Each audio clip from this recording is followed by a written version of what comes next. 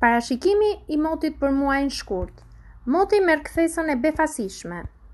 Pavarësisht se dy ditët e para të shkurtit, e shtuna dhe e diela, do të jenë me mot të kthjellët dhe temperatura që arrijnë deri në 17 gradë Celsius, ky muaj pritet të sjellë acarin e Arktikut.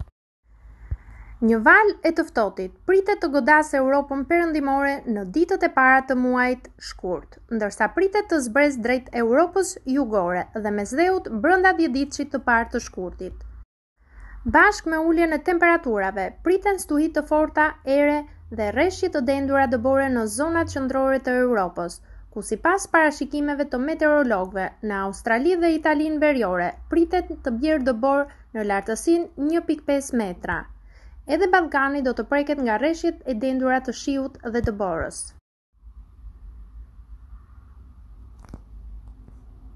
Të ftohta.